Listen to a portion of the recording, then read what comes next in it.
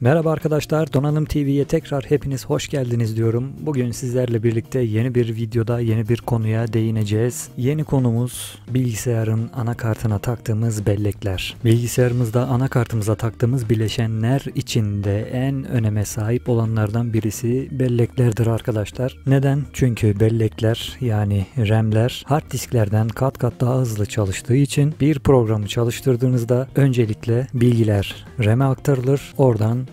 işlemciniz tarafından çağrılır ve işlenir. Bu oyun oynarken de aynıdır, program çalıştırırken de aynıdır. O yüzden bilgisayarımıza taktığımız bellekler hızları ve modeli gerçekten önemli bir faktördür. Biz bu videomuzda düşük bütçeli arkadaşlar için yine donanım tavsiyesi vermeye devam edeceğiz belleklerle alakalı. 8 GB, 16 GB ve 32 GB gibi rakamlar hepinizin kulağına aşikardır. Kasa toplayacağınızda bu terimlerle zaten yüz yüze kalmaktasınız ve belki de kararsız kalmaktasınız. 8 GB RAM mi takmalıyım yoksa almışken iyisi olsun 16 veya 32 GB bellek mi almalıyım diye gerçekten düşünenler vardır. Öncelikle sistemi hangi amaçla kullanacağınıza karar vermelisiniz arkadaşlar. Yani oyun mu oynayacaksınız, render mi yapacaksınız yoksa Sadece internete girip çıkıp film, müzik izleyip e, multimedya araçlarından mı faydalanacaksınız? Öncelikle oyuncular için tavsiyemi vereyim. Bu zamana kadar 8 GB bellek yeterli diyorduk her zaman. 16 GB bellek oyun için israf diyorduk arkadaşlar hatırlarsınız. Ancak son yaşanan gelişmelerden sonra 2K, 4K gibi oyun formatlarının ortaya çıkması, grafiklere gelen yenilikler maalesef 8 GB belleği kısmen yetersiz kılmakta. Bu yüzden 16 GB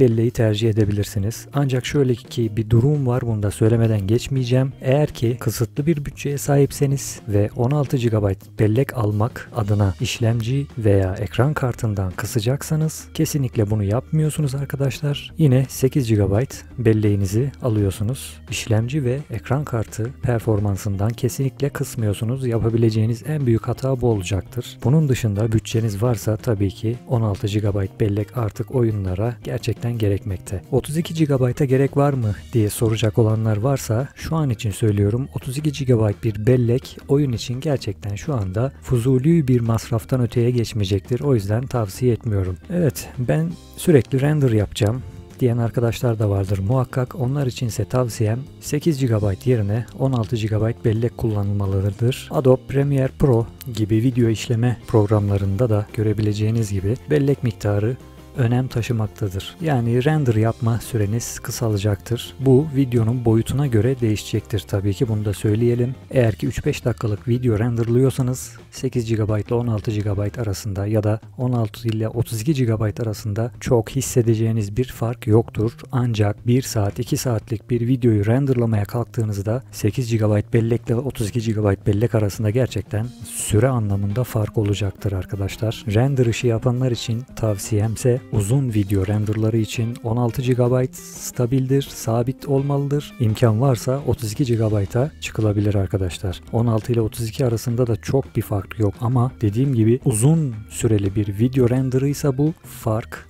hissedilir olacaktır. Bunun dışında sadece internete gireceksiniz, müzik dinleyecek, film izleyeceksiniz, yani bilgisayarı multimedya aracı olarak kullanacaksanız 8 GB'lık bir bellek sizin işinizi tamamen görecektir. Fazlası kesinlikle ama kesinlikle israf olacaktır arkadaşlar. Evet hemen şöyle bir toparlayalım ve videoyu sonlandıralım. Oyun odaklı toplanan sistemlerde eğer ki bütçeniz kısıtlıysa ve 16 GB bellek almak uğruna ekran kartı ve işlemci performansından taviz verecekseniz kesinlikle 8 GB bellek alıyorsunuz. Ancak bütçe sorunuz yoksa direkt 16 GB bellek alın. Render işleri içinse tekrar söyleyelim minimum 16 GB alın. İmkan varsa geleceğe de yönelik olarak 32 GB tercih edebilirsiniz. Multimedyaya da zaten söyledik 8 GB bellek tamamen yeterli olacaktır. Evet arkadaşlar bu videonun da burada sonuna geldik. Beğendiyseniz işinize yarayan bir şey sizin için burada varsa lütfen videoyu beğenin. Kanala abone değilseniz abone olun ki yeni videolardan haberiniz olsun. Şimdilik hoşçakalın.